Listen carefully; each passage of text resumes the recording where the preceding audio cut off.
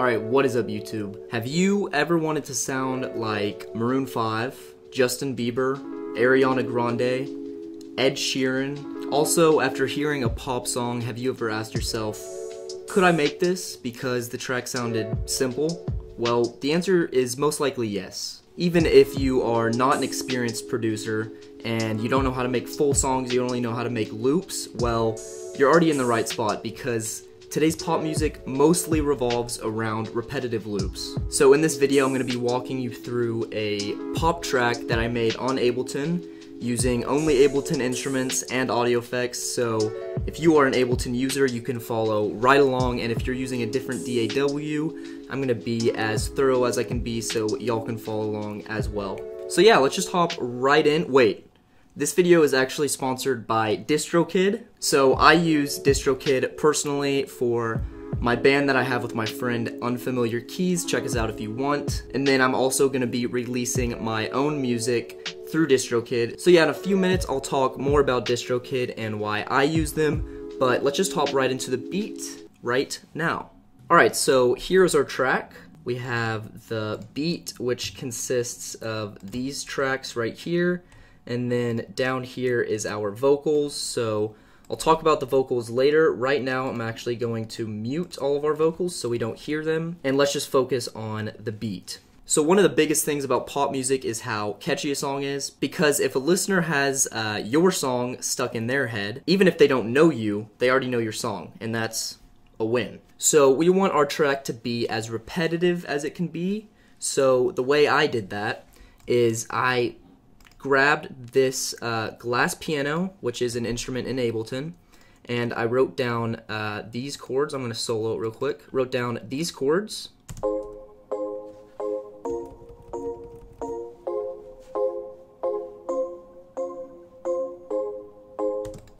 and that basically loops throughout the whole song. So there's our repetitiveness already, and you might be thinking, you know, that's pretty unoriginal, it's not creative, but it's pop music. So our track starts off with this glass piano. I threw in a chorus. I'm going to show you what this chorus actually is doing. So without the chorus, this is what our glass piano would be sounding like. Which sounds nice, but I definitely want it to be a little bit thicker, so we turn on the chorus. Definitely just brings in a lot more space and thickness. So once it hits this first verse, uh, we're going to get a snap and then a little pop. So snaps are big for pop music. Definitely recommend you throwing a snap in somewhere. And the good thing about the snap is that you can have the snap in the first verse and then you can switch it up and throw in a clap during the chorus and that just adds more spice to your track. So let's listen to this first verse with the snap and the pop.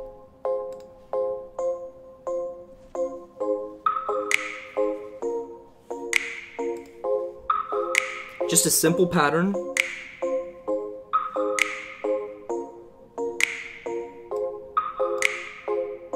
And then chorus. So let's walk through the chorus track by track. So here's our glass piano.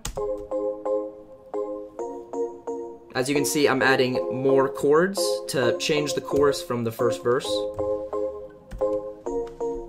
And then we're to throw in this bright marimba, which is a mallet on Ableton. You can just go to your instrument rack, go to mallets somewhere over here. There we go. And then what I did is I grabbed the chords from the glass piano, hold down control, drag it down to my bright marimba, and now they're both playing the same chords. So let's throw on that marimba over our glass piano.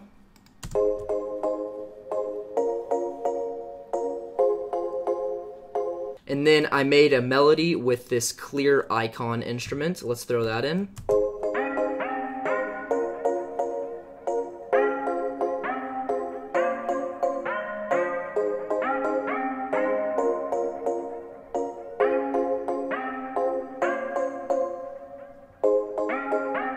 So just a super simple melody, but it definitely gives the chorus uh, more character and it switches up the chorus from the first verse so they sound a little bit different. So now we're moving on to the 808. I threw in the uh, Ableton Simpler, which allows you to sample uh, sounds, and that's what I use to sample my 808s. So I threw in this Sony 808 and I made this pattern.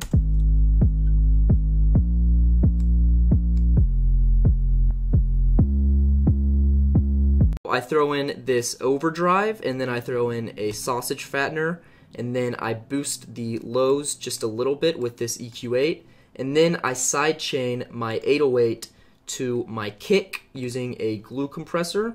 So let's solo the kick along with the 808 and every time the kick hits you're going to see uh, this knob bounce up and it's going to be lowering my 808 because when you have a kick going at the same time as an 808 uh, the frequencies are going to clash and it's going to give you some like dissonance. So if you throw on a glue compressor or a compressor and you sidechain the 808 to the kick, the 808 is going to clear up some space for that kick to hit and have a spot in the mix.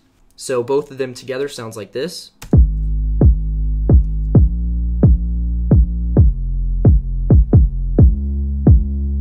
So here is a 808 trick that I use.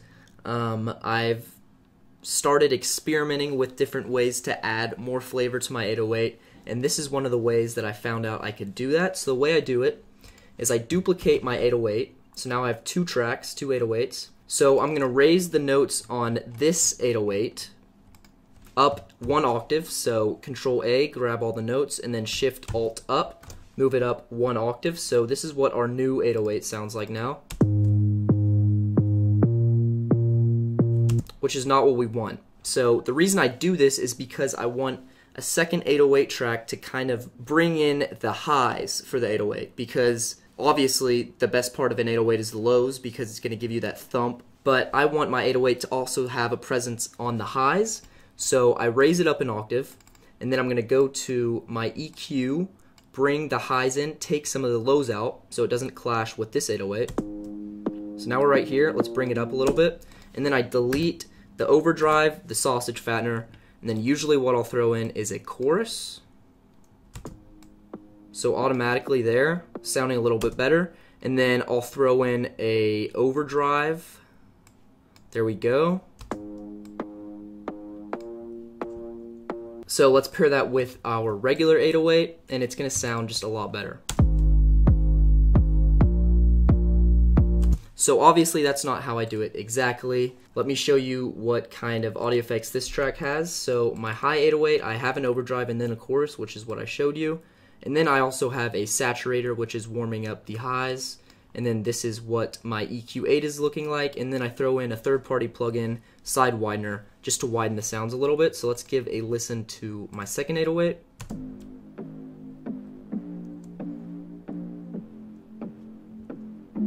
So pairing that with our regular 808 and our kick, we just have a much fuller sound.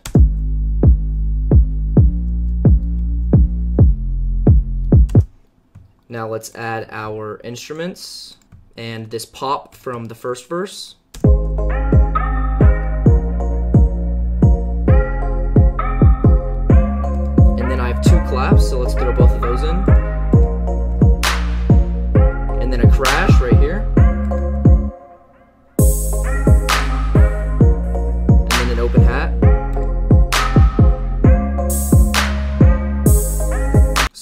This is what I did for my hi-hats. I throw in a simpler again, like I did with my 808, but this time it's for a hi-hat. And the reason I do that is because I want some of these uh, hi-hats to be pitched higher than the others and lower than the others. So just watch the hi-hats go, and as you can see, these hi-hats are going to be higher pitch than uh, these or these.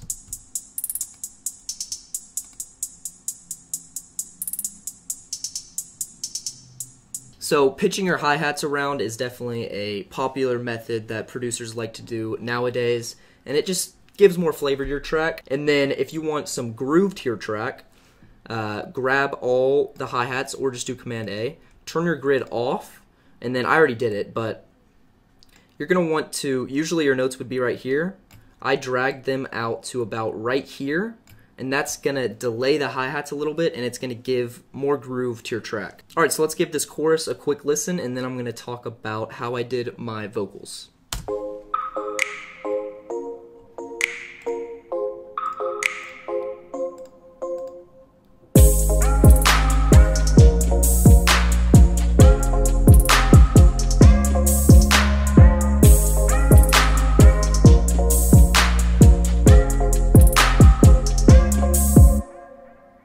So moving on to the vocals. Alright guys, quick break. Let's talk about DistroKid. So I've used a lot of independent distribution services and uh, DistroKid is by far my favorite. So if you are trying to release your music as an independent artist and you're not signed to a label, most of these distribution services are gonna charge you per song you drop. So the cool thing about DistroKid is you pick a plan and it's a yearly rate and you can release unlimited songs. So the lowest plan you can get on DistroKid is the musician plan and that's only $20 a year.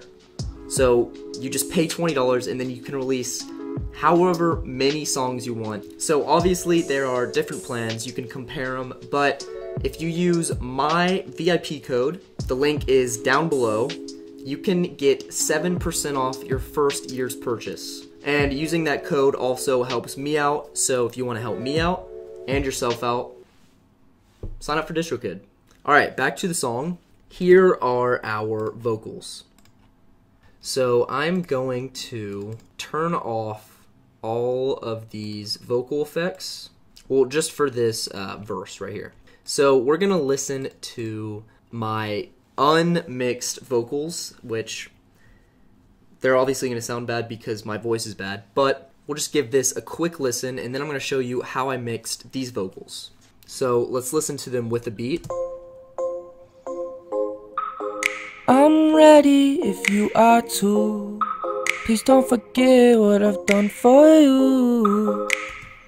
Alright, already sounding flat and unflattering. So, the first thing that we're going to do, and the first thing that you should be doing if you're making a pop track, is throwing on your auto tune. So, right here I have auto tune EFX. So, this plugin costs money, so if you want a free auto tune, one that I've used for probably a year and a half until I got this, is uh, MAutoPitch. So I'll link that in the description below if you want to snag that. Really good auto tune and it's free, so there shouldn't be a reason that you're not getting it. So now that we have the auto tune on, let's give a listen. Let's see if it sounds maybe a little bit better. I'm ready if you are too. Please don't forget what I've done for you. All right, already sounding picture perfect. Alright, so here is my Xole vocal template. So I use this vocal template whenever I'm making a song, really. If I'm recording vocals, I'm throwing this template on. So the cool thing about this template is I record vocals, throw in an auto tune, and then I just grab this template, throw it on, and it gives me a perfect place to start for mixing. Basically, just throws on a template and makes my vocals sound 90 times better. So if you want to learn how to make this specific template, watch my how to mix your vocals video should be somewhere you can click somewhere over here. In that video, I show you how to make this exact template so you can throw it on anytime that you're recording vocals. So let's give a listen to the vocals again, and then I'm going to turn it on, and you're just going to automatically see that this makes all the difference. I'm ready if you are too. Please don't forget what I've done. Alright, the auto tune helped, but it's still sounding flat. Turn on the vocal template. I'm ready if you are too. Please don't forget what I've done for you. Love's got me running races, but she don't care if this is wasted. So that's what we have for a first verse. So before I move on to the chorus and what I did over here, let me show you what this thing is. So let's turn it on. So I use this to introduce my vocals. So let's just give it a listen. Ready if you are too. So I call these sweeps, and the way I record them is I grab like the first note that I hit with my voice, which is going to be right here. If I can grab it, there we go. Okay, well, that's not what I wanted.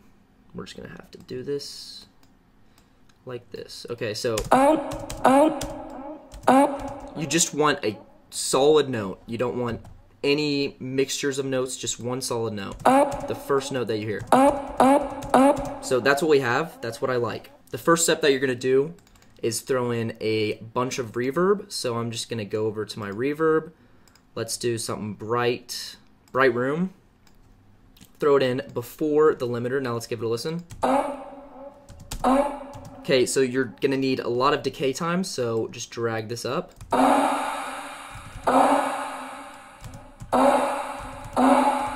Okay.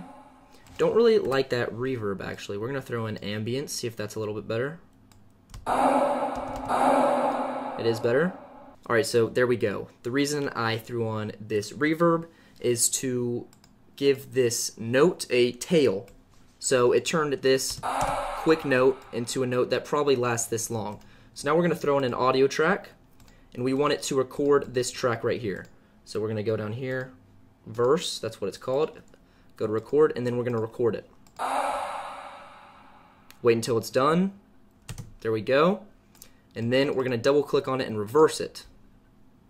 So now it sounds like this,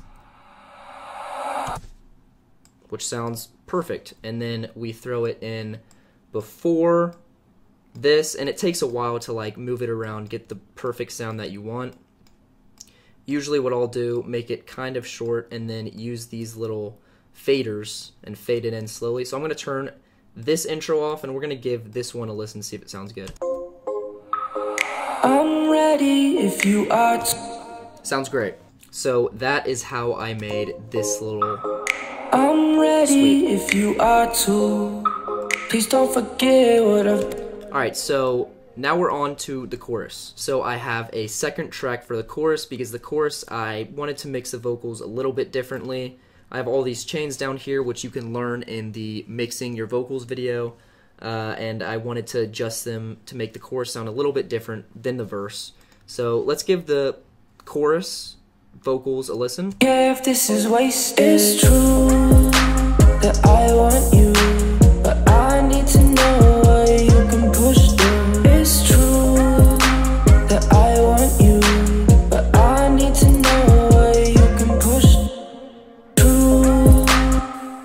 So that sounds good, but I wanted just a little bit more. So I threw in a background track. So we're just going to solo it.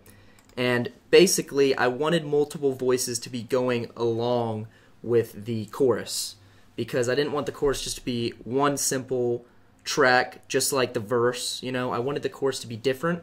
I wanted to have multiple voices. So I threw in this background track.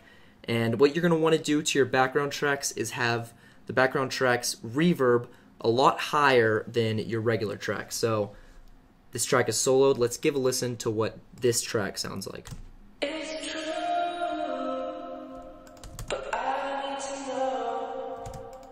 Let's give a listen to the chorus with our background track as well.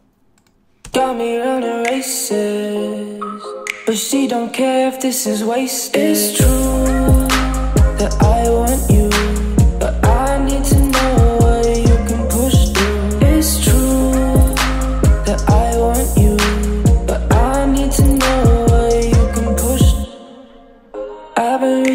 stars for.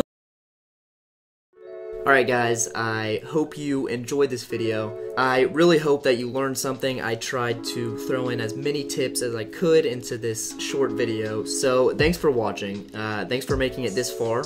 You've watched the whole video, so that's awesome. So at the end of this video, I will give you a snippet of this song. You can listen to the full song on SoundCloud. The link will be in the description, so check that out if you want. It's a pretty sick uh, pop track. It's, it's about as simple as you can get, but it's it's a good song, I think. I hope. I wish. Alright, guys, so if you could follow my uh, new Insta at Prod by I'm gonna be posting a lot on there. Um, I used to tell y'all to go follow my personal Insta, but I definitely want a completely new Insta to just throw out all of the content that I can. Also, um, a lot of y'all are hitting me up asking if I mix or produce for other artists, and I do. So if you want a track mixed or produced for you, uh, DM me at Prod by Xole or email me at Unfamiliar Beats. Both links are down below. Um, and let me know that you're a subscriber. And I usually stay within my subscribers' budget no matter where it's at. So hit me up. Let me know if you want a beat or you want your track mixed. Let me know where your budget's at and we can work from there. So yeah, thanks for watching. Go check out DistroKid, link down below, and listen to my song.